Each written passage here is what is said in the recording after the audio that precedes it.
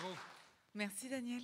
Alors, bon, ce week-end, comme c'était Pâques, je suis partie avec des potes quelques jours dans une maison de campagne de l'un d'entre eux. L'enfer. Ah non, mais de toute façon, à partir du moment où on a eu l'idée de faire un week-end entre potes, j'aurais dû me douter que ça allait être la merde. Des mails, en veux-tu, en voilà, et les gens qui te répondaient répondre à tous, et les petites blagues dans chaque mail. Et vas-y, qu'on se crée un agenda doodle, et puis tu quittes ta boîte mail deux secondes, t'en as 38 qui arrivent, tous avec le même objet. Qui est dispo quand? Qui ramène quoi? Qui vient en voiture? Alors, on n'était pas encore partis, je pouvais plus les blairer à tous. Impossible. T'es en bagnole, t'as toujours la bouffonne super enthousiaste qui s'est pris pour David Guetta et qui essaye d'ambiancer le voyage avec ses merde là. 1h50 à l'entendre chanter comme une dinde à chaque titre. Ah, j'adore cette chanson, ah, j'adore cette chanson, ah, j'adore cette chanson. Évidemment que t'adores cette chanson, c'est ton iPod qu'on écoute, mais quelle idiote celle-ci, écoute.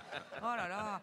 Attends, t'arrives enfin dans la baraque, tu penses être tranquille, mais non, c'est reparti pour un tour de questions. Qui va manger quoi? On fait un vote? Oh là là, mais écoute, on peut pas foutre un dictateur sinon, tiens, moi Non, bah non. Alors évidemment, comme il faisait trop beau, tout le monde a voté pour le barbecue. Alors le barbecue, parce que c'est sympa les barbecues? Ah bah c'est tellement sympa, les gens ils se mettent tous à parler comme s'ils avaient le bafa, dis donc. D'ailleurs, je devrais pas dire barbecue, je devrais dire barbecue. Et si on veut être cool, on dit pas chipolata, on dit une chipo. Alors, je pouvais plus les blairer. Le barbecue.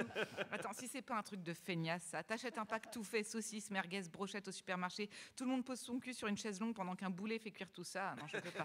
Alors généralement, bizarrement, c'est un homme qui s'en occupe. Ah bah c'est simple, le barbecue, c'est le seul moment où tu verras des mecs se battre pour s'en occuper, tu vois. Les mecs, c'est le seul moment où tu les verras se battre pour faire de la bouffe. Non, c'est moi, non, c'est moi, non, c'est moi, tu sais. Ils aiment bien le côté je fais griller des trucs et tout, ils se sentent virils, tu sais. Tu sais, il y en a toujours un qui dit ah moi, laisse-moi, je vais maîtriser le feu. Non, mais attends, c'est bon. Sérieusement, vous avez déjà vu l'arrogance des mecs quand ils allument un barbecue? Putain, mais t'as l'impression qu'ils ont inventé le feu, les mecs. Atterris, hein, c'est pas la préhistoire. Pareil, ta viande, tu l'as pas achetée chez Auchan. Tu l'as achetée chez Auchan, t'es pas allé la chasser, détends-toi deux minutes. Incroyable. Le mec, il est là, se la péter derrière ses saucisses, là, la clope au bec, le rosé à la main. Il est là à faire le fier, mais de toute façon, fais le fier, vas-y, au bout de deux secondes, tu disparaîtras sous ton nuage de fumée. hein, Personne te calculera. Toutes les quatre minutes, tu le vois sortir de son petit nuage de graillon, les bras chargés de merguez, à goûter comme un porc, là. Eh, première ration de saucisses, deuxième ration de saucisses. Oh là là. Ça aussi, c'est pareil, on te dit que c'est convivial, le barbecue, tu parles, ouais. Jamais personne bouffe en même temps, tout le monde fait la queue pour sa petite merguez, t'as l'impression de retourner à la cantine, c'est la galère. Et puis alors, comme à l'école aussi, t'as toujours un petit rejeté dans son coin. Alors là, le rejeté du barbecue, c'est qui? Ah bah c'est le végétarien. Il est là, complètement dépité avec son petit poivron rouge là. Il attend pour le faire griller dans son petit coin. Il est là, bah moi j'avais voté pour la raclette. Ah bah oui, ah, ah bah c'est con. Et puis c'est vrai que c'était une bonne idée, une raclette sous le cagnard. Ah quelle tristesse. Alors pour oublier, tout ça, ça picole dans tous les sens. Tout le monde invente son petit apéro spécial barbecue, le truc frais et sympa. Il y en a quand même un qui a essayé de me faire croire que le nouveau truc cool, c'était le cocktail rosé pamplemousse. Rosé pamplemousse ensemble. Arrête de te la péter, c'est pas un cocktail, c'est un mélange.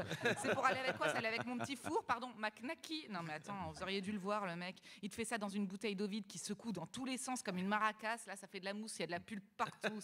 C'est- ignoble. Il te sert ça dans un gobelet en plastique. C'est plus une boisson, c'est juste du rosé avec des morceaux, quoi. C'est immonde. Alors le lendemain sur le chemin du, sur le chemin du rosé, il y en a qui est encore bourré, tu sais. le, le lendemain sur le chemin du retour, la désillusion. Alors la bagnole, on aurait dit un barbecue de poche, quoi. Ah bah ils faisaient moins les malins, tous entassés dans la voiture, à rouler sur l'autoroute, les quatre fenêtres ouvertes pour enlever l'odeur du graillon sur les vêtements. Ils étaient tous cramés, là, tous plus cramés les uns que les autres à réclamer de la biafine. Je peux vous dire que le maître du feu, là, il se la pétait moins. Il se la pétait moins avec sa dégaine de merguez, là. Arrivé à Paris, on nous a tous jetés à la station de métro. Et là, on s'est tous sorti la phrase qu'on se dit quand vraiment on ne peut plus, mais on ne peut plus se blairer. On s'est tous dit, euh, bon, ben on se tient au courant.